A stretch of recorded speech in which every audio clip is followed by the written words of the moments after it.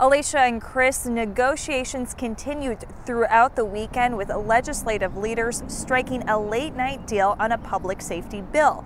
The bill would include statewide reform restricting no knock warrants. Lawmakers also discussed jail reforms spurred by KARE 11 series Cruel and Unusual. The hard the Hardel-Sherrell Act will provide better protections and medical care to prevent deaths among Minnesota's jail inmates. It also includes the Matson Strong Act, named after the Waseca officer Arik Matson, who was shot in the head while on duty and narrowly survived.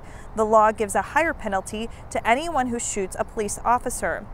Senator Gazelka says Matson Strong and the no-knock warrant reform were two of the final compromises before the deal was struck. Again, leaders say they are on track to avoid a government shutdown before that Wednesday evening deadline. Alicia and Chris, back to you. Yeah, well, the 4th of July coming up too. Everyone will want to be on vacation, For so let's hope they get that signed, sealed, and delivered. Thanks, Hannah. Meanwhile, we are